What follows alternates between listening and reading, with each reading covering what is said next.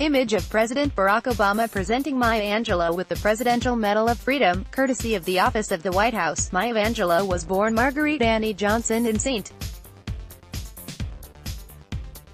Louis, Missouri, in 1928. Over the course of her life, she was an actor, dancer, singer, playwright, producer, civil rights activist, autobiographer, and poet.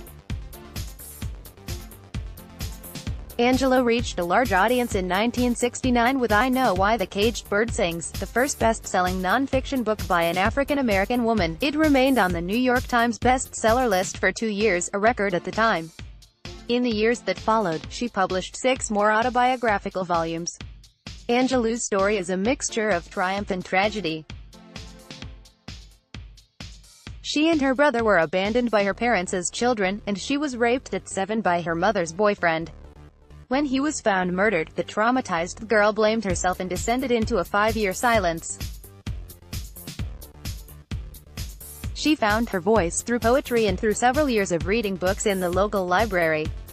Angelou went through varied gigs, as a dancer, a calypso singer in a nightclub, and an actress in a global tour of Porgy and Bess and in an off-Broadway production of Jean Genet's avant-garde drama The Blacks.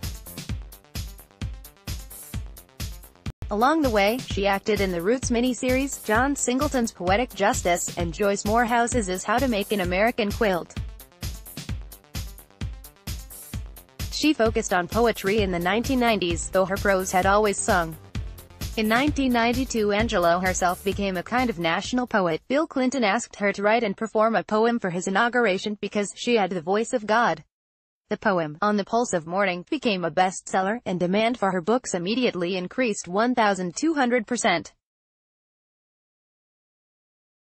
In 2011, U.S. President Barack Obama presented Angelou with the Presidential Medal of Freedom, one among dozens of awards given her over her lifetime.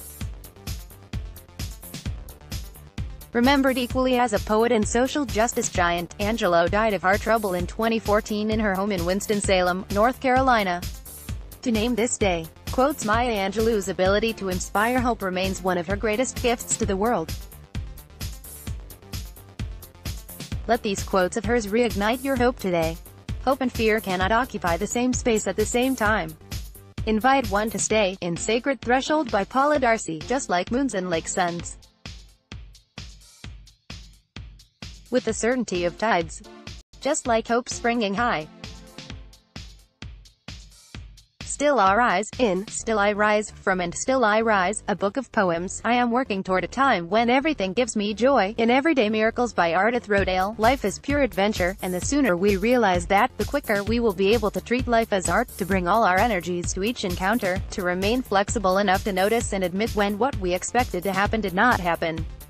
We need to remember that we are created creative and can invent new scenarios as frequently as they are needed. Maya Angelou and wouldn't take nothing for my journey now spiritual practice Angelou's poem, Still I Rise, boasts of this richness, tenacity, and strength of the black female speaker, and all black women, who rises above all attempts to lay her low, who cannot be contained by a history of slavery, lies, and discrimination.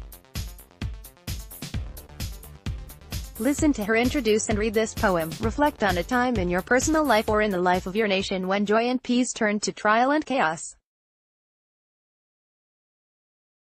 Did you or your people preserve your sense of dignity, generosity,